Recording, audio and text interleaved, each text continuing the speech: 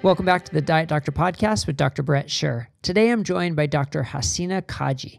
Now, Dr. Kajee started as a physician in South Africa, running an acute care ward in a tertiary hospital. And you'll hear her say it seemed like her dream job, what she always aspired to be as a doctor. But it didn't take long for her to realize she was kind of missing the mark on where she could have the biggest impact.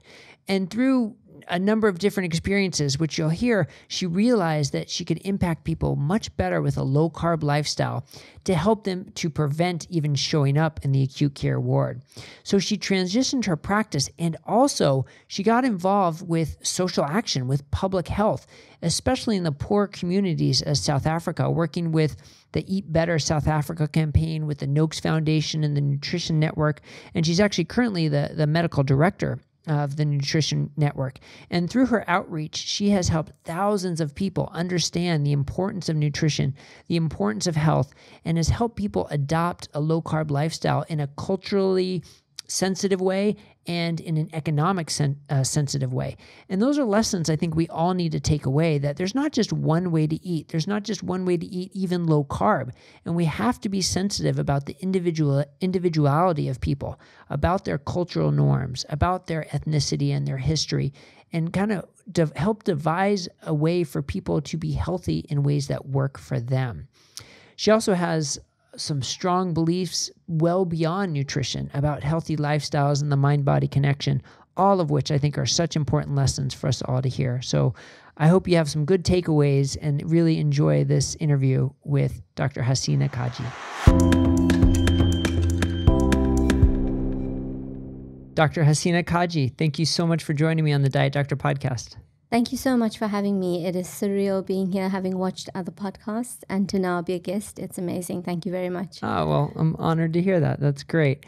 Well, I want to hear more about your story because we spent some time talking yesterday and you have a pretty phenomenal story. So tell me, if you can, as far back as you want to go, about how you got started in medicine and kind of what your philosophy was and the experience you had in, in trying to help patients. Right. So I think I started like most doctors wanting to from the deepest part of my heart help people. Yeah. And um, the thing that bothered me along the way was the the way medicine became um, broken up into fractions, and so the surgeons there was a hierarchy within the medical world that I noticed very early on. And I actually started out wanting to become a, a, a surgeon. That was my that, really? that was the route I was going, and I did surgery, and I just I there was a relationship that was lacking between the colleagues. And I became more intrigued with the human body and the functionings of the body and the pathophysiology. And so I eventually, I, I actually did uh, almost two years of emergency medicine.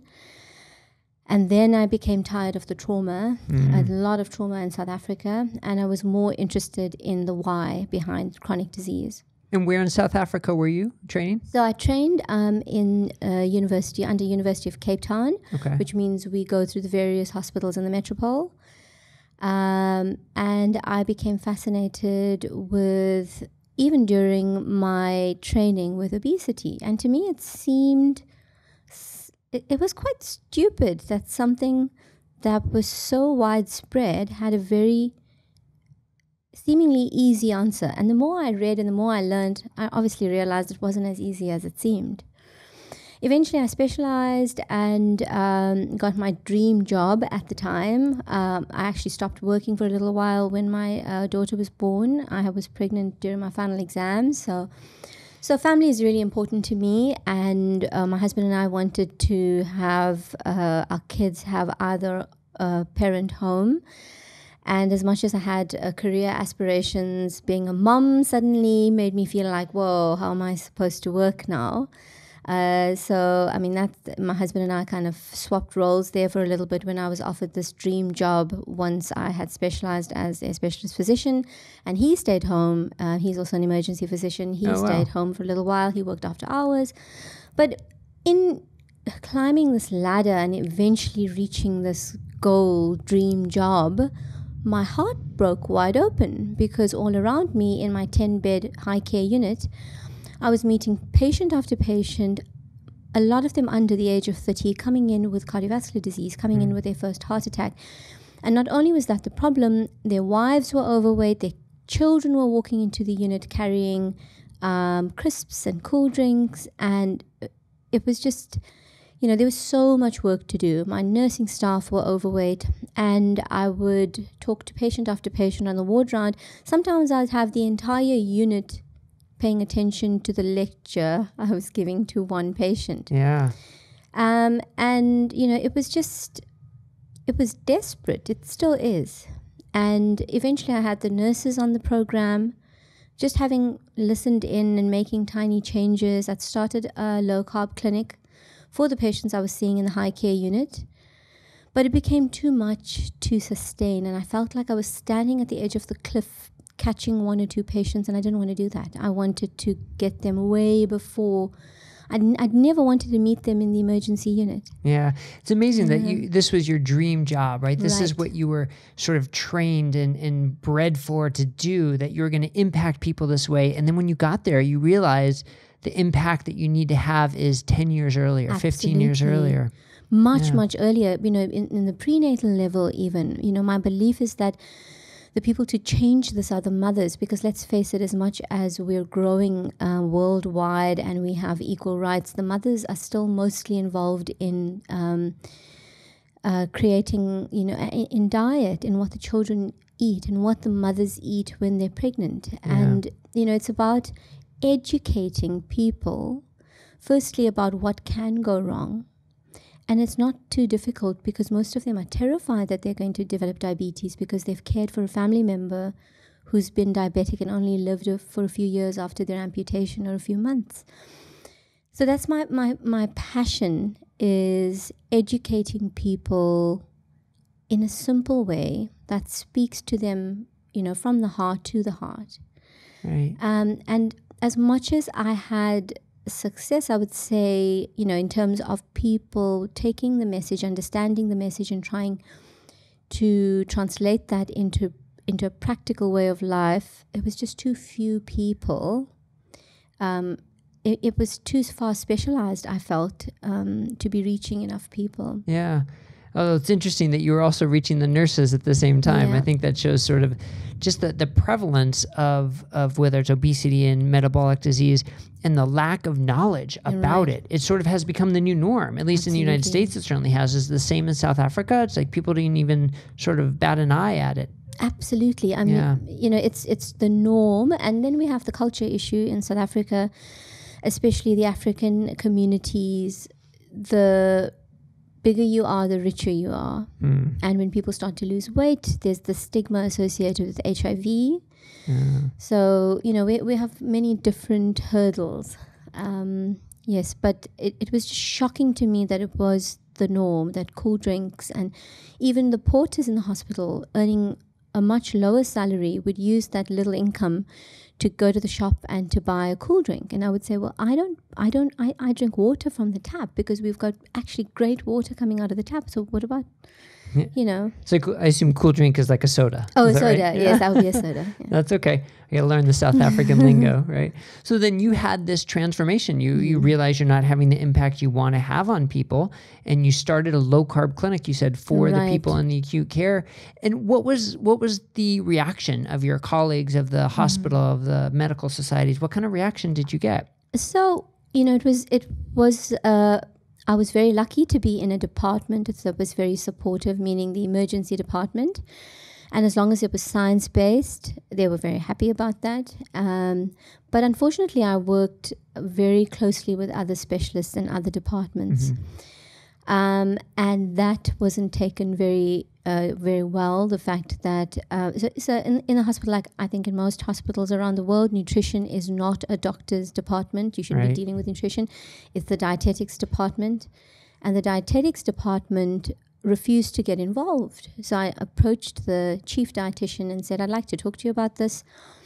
and um, she didn't return my emails. She and I found out, um, you know, through the grapevine that she felt that she was not educated enough in low carb treatments to have a conversation with me. So I tried even higher, and you know we faced a lot of issue, a lot of hostility within the department. Colleagues coming into the depa- department and tearing up um, diet sheets or, or food lists that we'd given to the patients, and Physically tearing them up. physically opening up the folder, going, "Hmm, what's this?" Squash it or tear it up. Oh my goodness.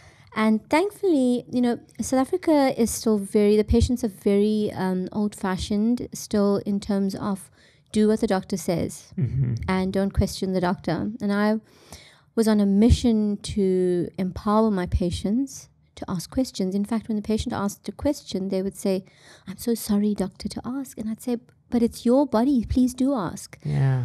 there isn't the tolerance or the time to answer those questions because of how busy it is and you know all the hurdles all around the world i think are the same or are similar um, and we had patients coming in actually having been on a low carbohydrate diet for a couple of years speaking to a cardiologist and the cardiologist was saying this is terrible you're going to die your cholesterol and they would say thank you very much doctor but i know that this diet has helped me get off my blood pressure pills i've lost weight i respect your opinion but i'm not getting off the diet so we had we we, we still have patients who who are I, I think it's it's a revolution in the patient world as well Yeah, that's. I mean, that's so impressive to hear. When you started that statement by saying they very much just listen to their doctor and feel like they're inconveniencing their doctor mm. to ask questions. I mean, that's to go from that to being empowered enough to say, no, I, I know what I'm doing is benefiting me. I'll stay the course. I mean, that's an amazing transition, and I'm sure it was very difficult.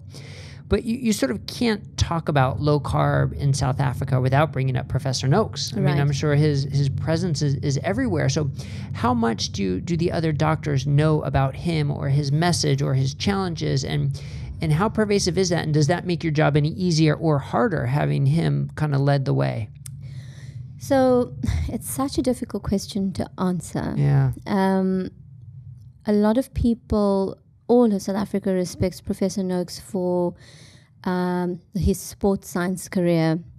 And my personal feeling is that when he started to talk about nutrition, that there was a lot of ego, egos that got into um, the ring there, and people felt that he wasn't qualified. He he was qualified to speak about sports nutrition, but he wasn't qualified to speak about diet, and certainly not diet that went against um, you know what the current medical dogma. And having that association with him in a tertiary level hospital for me was actually more difficult to practice medicine because a lot of people were against what he was saying and what he was teaching. But on the other hand, it's quite divided because people who. So, this is my view that if you're a doctor and you've never had a weight issue, it's very easy to say, This is rubbish, just eat less and move more. When you are a doctor and you gain weight and you know the physical aspects and the physiological aspects and the clinical association of that weight gain, then you have a personal responsibility to and if you have a personal responsibility to improve your health or you know you you want to improve your health then you start looking at different options. And it's only then that people will realize exactly how difficult it is to eat less and move more. Yeah, I think it's sad that we sort of rely upon doctors to have their own personal experience before they can learn about it. And that's sort of what I see as our job here, not not just educating the individual person, but educating the doctors or allowing that individual patient to educate their doctor because we have to speed up the process somehow, right? there's we? no individuality in medicine everyone's Yeah. supposed to eat exactly the same thing Yeah. Right. I mean, how can we think with our with our diverse backgrounds and ethnicities and cultures that and our genetics that there's one diet for everybody? Just doesn't make sense, does it? Yeah. But I think the thing that bothered me the most was that everybody knows in tertiary level medicine, uh, or even you know in the regional hospitals, any doctor in South Africa knows how prevalent obesity is, hmm and to have somebody as um, esteemed as Prof. Noakes coming to the forefront and saying, "Look," so firstly you have to be blind to see, to not be able to see his physical transformation. Yeah. you know, and then f- for somebody of that caliber to say, I felt sick, I got better, I've done the research, this is what works. If you really care about obesity and if you really want to make a difference, and you can see that somebody has a solution, And he's not some Tom, Dick, or Harry. He's an esteemed A A1 rated scientist. Why is it not possible for you to be able to sit at the table with him and discuss? Wow, I'd like to hear your thoughts on this. Yeah. In fact, when Eric Westman came to South Africa, I arranged a meeting um, at the University of Cape Town for the clinicians to attend. While it was reasonably well attended, it was not at all well received. There was much hostility in the room from the various departments. And it was so clear that no matter how much science is out there, some people will refuse to listen. Why is that? Because you know, you, this, we want to give people the benefit of the doubt that physicians are here to help their patients. So, why do they get so dug in sometimes that they can't be open minded enough to look for other opportunities to, mm. to help their patients? Why do you think that is? Um, look, I have no idea. I think ego has a, a huge role to play. I think that people are treading on other people's territories. Uh, perhaps that's the issue. Um, to me, you know, obviously when it came up and people were saying, a Prof. Noakes was saying eat high fat, I was like, personally, I thought, this is nonsense. You're going to die. Right. And then I thought, but no, no, no, but this is Prof. Noakes. So I need to do a little bit more research. And then I was like, I mean, the way I, I, I practice is I never ever practice. I always practice what I preach. So I have to do the, th- the, whatever it is. I'll take it up personally, whether it be fasting or extended fasting, um, or budget eating, and how can I prescribe to my patients what I don't know when I don't know what it feels like. Yeah. And I felt my husband was a couple of uh, maybe 20, 15 to 20 kilos overweight, no matter how much we ran and no matter how well we ate. And I noticed an immediate transformation. He used to, we used to call him the Hoover because he would just finish everybody's meals. And use that term sudden, even in South Africa, huh? That's great. And he, all of a sudden, he was satiated. Mm-hmm. And I kept making him low carb desserts. And after the third day, he said, "What are you doing?" And I said, "I just want to spoil you." He said, "Please don't, because for the first time in my life." I feel like I have control over what I'm eating. Yeah. You know, so it's when you experience that. I'll tell you stories from being working in the emergency department. There's no time to to go to the loo. There's no time to have lunch. And when I started eating low carb, well, I had been for a while before I started that job, and um, I would keep going without eating, and I wouldn't have had breakfast. And my interns would look hanger. They would be hangry, yeah. you know? Yeah. And I remember an intern coming up to me and saying, You need to tell me what you're doing because I, I, am going to kill someone. I need to eat now. And you just look so serene. You know, it's, it's like that across the board. And I used to have this issue with the body, this fascination with the body that the body is remarkable. But how come we have to stop so many times a day to eat? And yeah. if we don't eat, we feel crazy. So it, it, it was a personal transformative journey for myself. Um, and that is the thing I think that's lacking that people have no, in my experience, people have the professionals that I had these discussions with and debates with. It felt like they just read an abstract and they quoted the abstract, mm-hmm. and that was, you know, th- they don't have time to read the low carb literature because they're too busy reading their own department's literature. So, whether it's a hepatologist or a cardiologist or an immunologist or whatever it is, they just don't have the time to read. But, you know, why not talk through the information or be guided yeah. or be willing to be guided?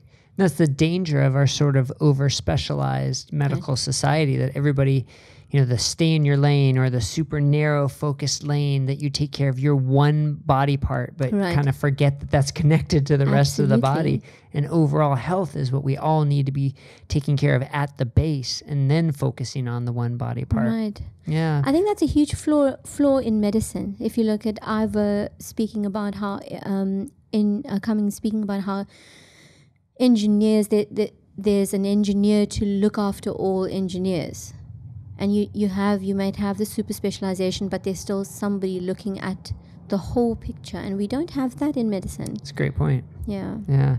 Now, so you went on from helping one person at a time to having more of a role in public outreach and helping Right. entire populations with the Eat Better South Africa campaign, where you're dealing with a lot of poor communities without a lot of resources. And that must have been challenging to really get the message across and whether it was to convince people it was the right thing to do and logistically help them. Tell us about your involvement there and kind of what you saw.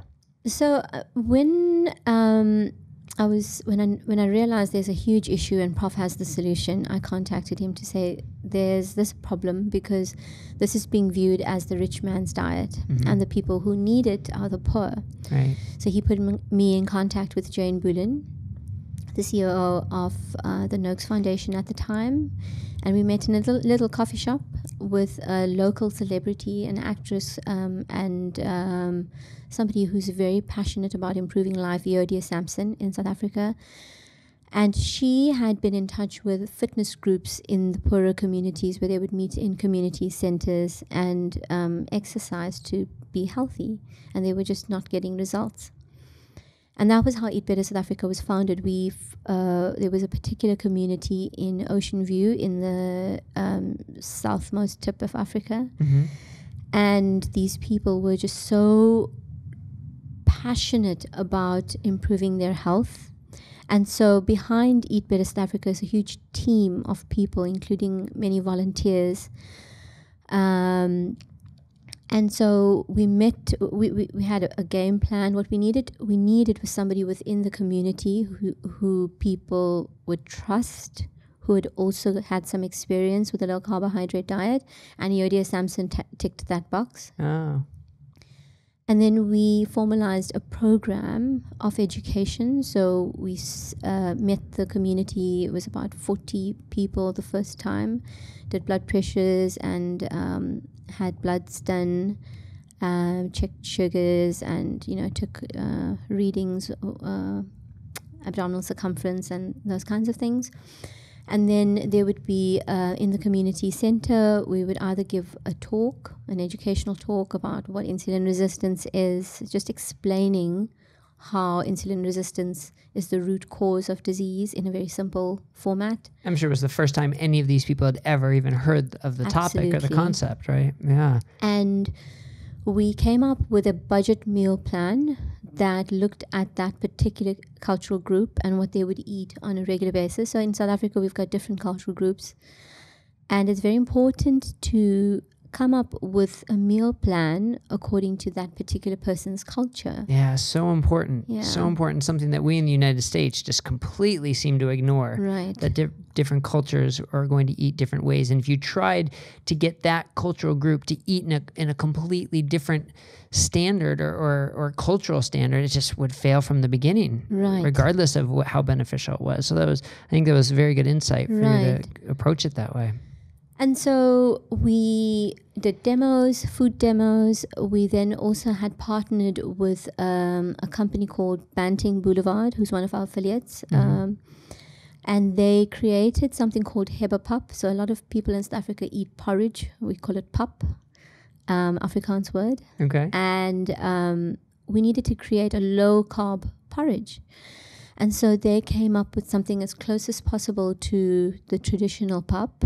And so we taught them how to turn that into porridge, how to turn that into bread, how to turn that into a stiffer form of the porridge, and then how to pair whatever they were eating with that. So, for example, if, if it was meant to be curry and or, or spaghetti and and um, I mean spaghetti and, and mince or something like that, it would end up being the mince with um, cabbage uh, Okay. that was sauteed in an animal fat. I mean, you know, so a, a cheaper fat. So we, Right. we we encouraged them. To, we taught them how to render fat.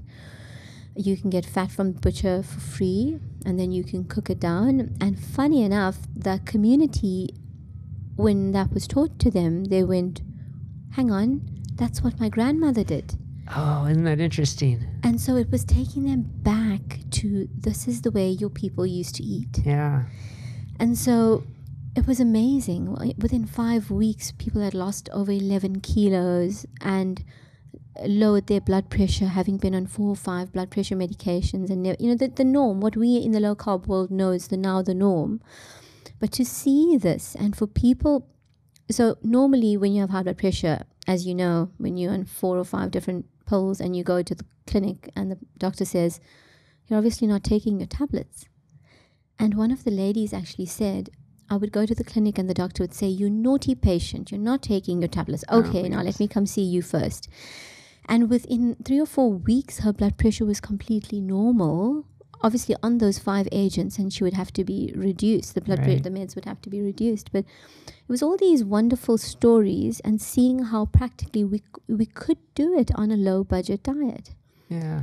That's that, that's a great lesson. I mean, that people are budget conscious and culturally conscious, and you found a way to fit that. So, were you able to then take that model and and expand it to other societies, other cultures, other groups of people? Yes. So so what we do is we customize every plan based on the cultural gr- group um, we're busy with. Yeah. So we each intervention has obviously taught us more and more. The issue for me personally is that you cannot exp- we're bombarded by uh, food industry. Mm.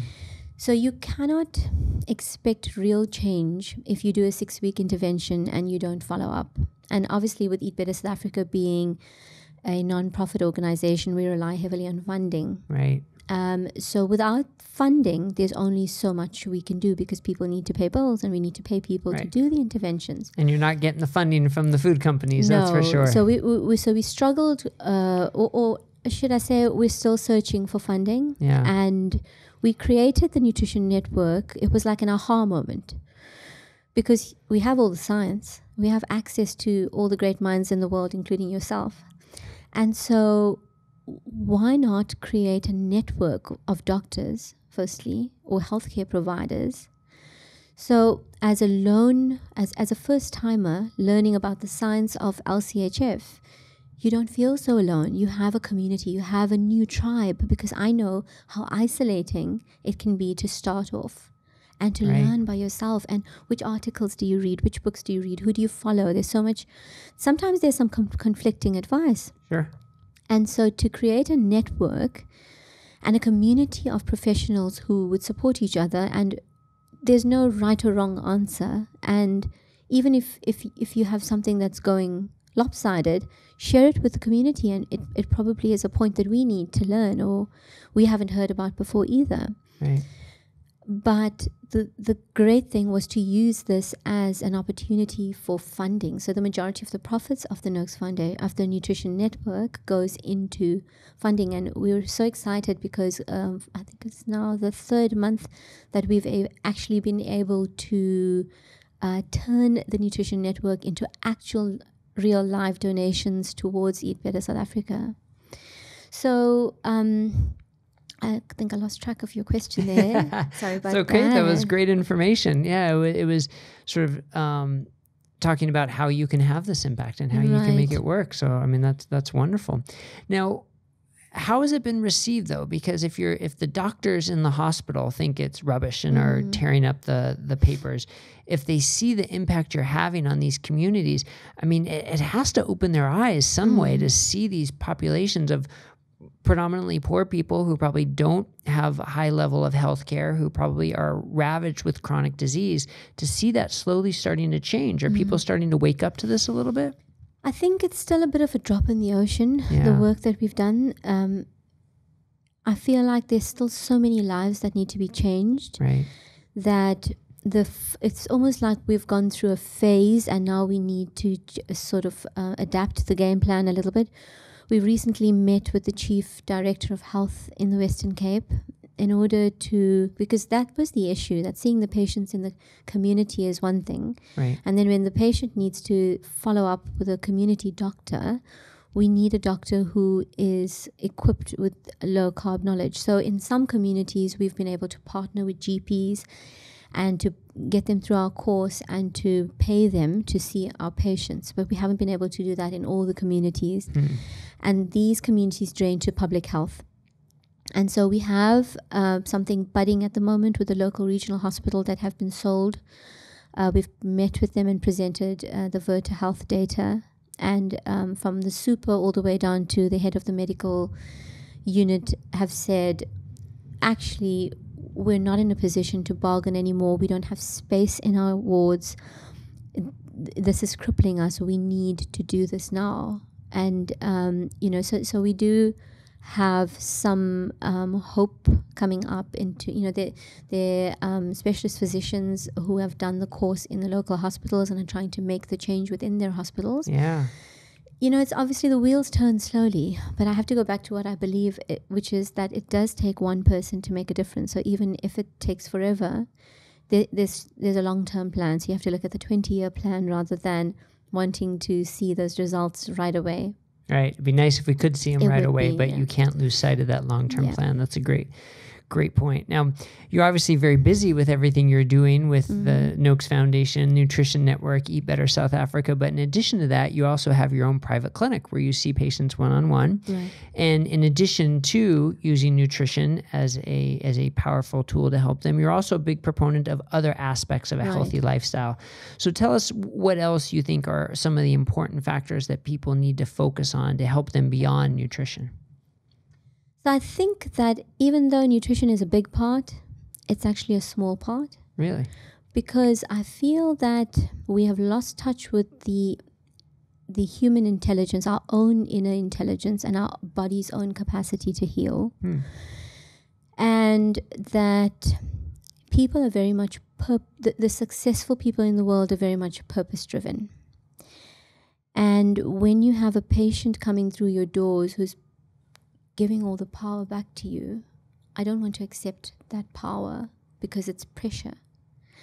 So my job is to help that patient facilitate. I- I'm just the facilitator, Right.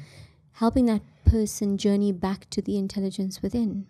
And so, what I do is I have um, a questionnaire um, that I go through, and I focus on, uh, and I use the the the wellness, the wheel of health, the wellness wheel.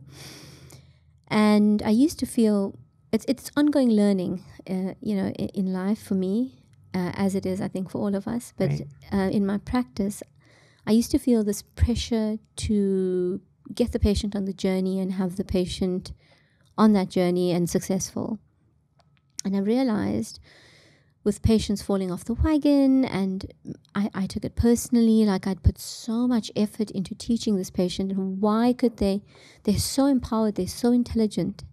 Why is it that they're not following this advice? And I realized that that was my ego speaking mm-hmm. because I needed the patient to succeed because I needed to feel good because I'd done something, and that my ego had no place in healing. Yeah, isn't that interesting how the ego can just sort of creep in there? Absolutely. Even though you think you think that you you're passionate and you're you're living your dream and you're doing this this good work, it's got nothing to do with th- with that. You know, it's, the ego creeps in, Yeah. and so I had to have this hard conversation with myself and realize that I can just ring the bell, and I am but one healer in the patient's life and in the patient's journey, and it's every interaction is important, and especially that it's not that every patient that comes through the door is actually bringing me something and that I'm learning from that patient.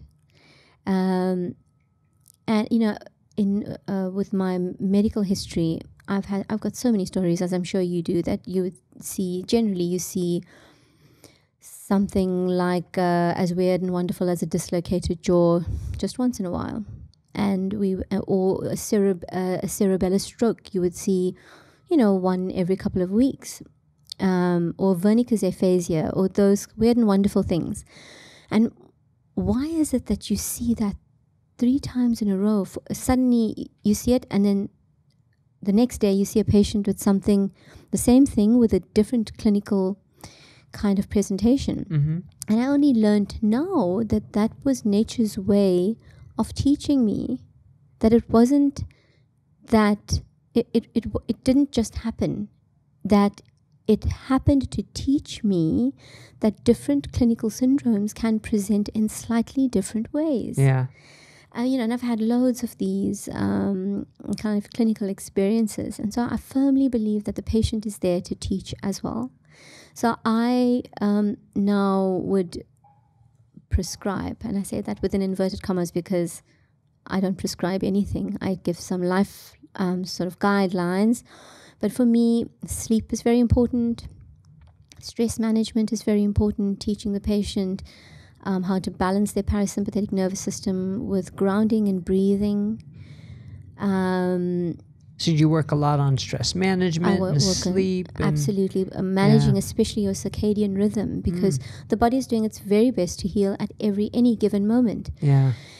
and we interfere with that but if we create that optimal healing environment within and if we give the body the optimal nutrients and we give the body the optimal sleep timing and environment in which to sleep Yeah. um, and when to eat and when not to eat. And we have faith that the body will use this to heal. You know, those are the fundamentals of, like, sleep is a fundamental healing tool. So not only do I address the um, specific issue that they've come in with, because mostly people are coming in with diabetes or hypertension or the metabolic syndrome, we end up talking about trauma that the patient experience that hadn't that they hadn't processed, childhood trauma or or other trauma, um, you know that that kind of thing. Right. Do you find it can be overwhelming? That it's a little too much at once for some people and it, it, it overwhelms them? Um, so what I do is every new patient who sees me gets an introduction to the type of work that I practice, so that it's not new to them that we're going to be talking about all this kind of stuff. Right. That's not just medicine. So they come in prepared. I also say to the patient that this is a journey. So it's like an a la carte menu that I'm going to be creating for you. And you choose w- what you want to focus on. Right. If you want to choose sleep, you choose sleep. And then, you know, it will be beneficial for you to keep your carbs under 25 grams and and maybe, you know, some you have to meet the patient where the patient's at. Sure. and every single patient is is individual. And you know and uh, on on the contrary people are overwhelmed that for the very first time they're able to speak about themselves. And all of the stuff that they hadn't processed or they hadn't spoken about. I mean it doesn't all happen at once. Yeah. my first consult can go over 2 hours. Right. and then after that it's just an hour or half an hour but just to ring the bell in certain areas what's your priority in life? Family career religion? Okay so how much of that are you actually putting effort into on a daily basis? Then they go oh i see. My family is really important to me but i'm giving them a 2 out of 10 in real terms. So that's something that bothers me. Okay so how can we what do you think we can do to improve that Yeah. um, you know and then so they come up with with the answers and i just guide a little bit or suggest a little bit Those are things we're not taught in medical No. school and residency, but it has so much to do with caring for the person in front of you. absolutely Yeah. So, what kind of advice can you give people? Because not everybody's going to get a doctor like you. Let's face it. So, what kind of advice can you give somebody on how they can help themselves through this journey if their doctor is maybe not on the same page? so for anybody listening the three books that i suggest people read are um, dr wayne jonas's how healing works hmm um, and then the circadian rhythm by dr satchin panda Right. um, and why we sleep. Um, and I forget the author's name now, but sleep is just so topical at the moment. Um, so that's the first thing. And if you go to Dr. Jonas's website, and I've got absolutely no affiliation with him, I've just found him as a resource, and Mhm. it's amazing the things on his website. Um, he has some templates that I've started using, the kind of questions that you can um, ask. What I also suggest is perhaps email those questions to your patients beforehand and give the patient time to go through that the questionnaire and come back to you and then you put a lot of stuff in the parking lot Yeah. there's only so much you can tackle and what we want to do is to cultivate a journey and a relationship a long-term relationship with the patient and my number one bit of advice would be start working on yourself Yeah. because we lose we lose track of the fact that we're human as well that we need that family and sleep and when to eat and relations and community and rest and we work too hard and so what's behind why you're working so hard Mhm. Wh- what are you trying to are you trying to run away from something Are you? What is it? And so, can you be brave enough to tackle those individual questions? And a lot of introspection. So absolutely, it can be uncomfortable for a lot of people. It is, and if, and yeah. I think every every single person needs to see a therapist because it can only be helpful. Yeah. It's healthy and wonderful to talk about yourself, to figure out what makes you tick, and that to me is key. Start looking after yourself holistically. Right. Exercise regularly and do the things that you love and make time for family and sleep and follow your passion most importantly. A lot of people make the mistake of studying or working hard towards a certain thing and they don't go back and reassess and say, is this still my passion? Mm. And it can be devastating to realize that your passion has changed. Right. I mean, I had to go through that journey when I, I basically changed careers. And it was a huge moment for me. Um, it was a really difficult time because I didn't know who I was anymore. Um, I'd, I worked so hard towards this dream job. That it became your identity. Absolutely. Yeah. And when I had cut back and, and had to look at who I was and why I was trying so hard, came from a feeling of inner lack, mm. a feeling of not feeling enough. That I had to do all of this for other people in order to feel because that's what that's what I knew. I knew to I, I knew achievement. And when I didn't achieve, I felt like I wasn't enough as a person. Right. And so I had to do a lot of introspection and a lot of brave and hard work and work on that and feel enough and realize what all that was about and all the wrong messaging that I'd picked up along the way. Yeah. So, what we eat is clearly important, but it's so much more than that. It's about how we see ourselves as people, how we see ourselves in the world, what our place is, right. and all that. It, it, impacts your health in so many different ways. And what's what I find so interesting about what you're saying is I can just see how when people have that awareness, when they're when they're able to see inside themselves, they want to take better care of themselves, and Absolutely. that will that will sort of then almost be a self-fulfilling prophecy that you're going to eat better and you're going to exercise better because you're going to prioritize these things once you have that awareness. Absolutely. Yeah. Well, it's such a great insight, and I hope I hope people really can take away um, some of these pearls from that to realize how they can start to take better care of themselves and learn about themselves, and that there isn't always going to be somebody there to help you get started, but this hopefully will be sort of a kickstart for a lot of people, um, and then help them on their journey, which I know is your your goal and your passion. What I do believe is that there's a new revolution of inner awareness out there, and so you wherever you are in the world, you won't struggle, even if you're listening to podcasts, um, self improvement podcasts, you won't struggle to improve yourself. There's a plethora of books coming out about self improvement and self mastery. Yeah. Um, you know, it's just, it's a wonderful time to be alive. It sure is. Well, that's wonderful. Well, thank you so much for sharing your message with us today. If people want to know more about you and hear more about the things you're doing, where can they find you? So I uh, write on. I actually spend a lot of time uh, sharing on Facebook under Dr. Hassina Kajee Carb Free MD. I've kind of lost interest in growing my website because you know that takes a little bit of time, but right. I, that's still under construction. Um, so that's pretty much I spend most of my time there. I don't like to split between Instagram and Twitter, and so I find it's much easier to just stick to one platform at the moment. Um, yes, or you can email me at info at drhassinakajee.com. Very good. All right. Well, thank you for all your work and for all your passion. Thank you so much.